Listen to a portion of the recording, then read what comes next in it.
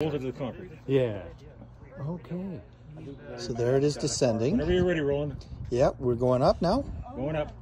I'll take it all the way So up. are you in the, uh, the U of C in the same Yeah. faculty?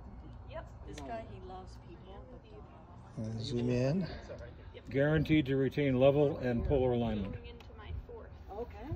our new pier, thanks to Larry McNish's efforts, on behalf of the Calgary Center of the RASC, To improve accessibility of the University of Calgary's C14 telescope here at the Rothney Astrophysical Observatory. So what does polar alignment mean? to take five years. like, I just set up my master's degree, I actually got called. So it means basically that this mount uh, will track the stars by basically compensating for the Earth's rotation. And by having this stable mount like this, we are able to keep that regardless of whether the pier is short or tall. Yeah. Ended up, freezing cold and cloudy. That's it.